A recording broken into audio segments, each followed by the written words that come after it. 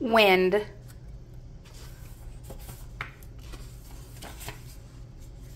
The earth we live on is a spinning ball. When the earth spins, the air around it moves too. When air moves, we call it wind. The sun heats the air. The air grows lighter. Lighter air rises. Cooler air is heavy. It falls. Cool air and warm air are always trading places. We call this movement wind. Birds use wind to help them fly. Plants use wind to carry their seeds. We use wind to fly kites, to sail boats, and to turn windmills. Wind moves clouds. Wind makes waves.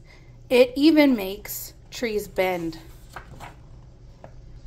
When the hot air is very light, the cold air is very heavy. Wind can blow up a storm. Sometimes wind spins like a puppy chasing its tail. A small spin makes a dust devil or a water spout. A strong wind makes a tornado or a hurricane. Wind can be scary. Or it can sing a gentle song. Wind is all around us, but we cannot see it. We can only see what the wind does.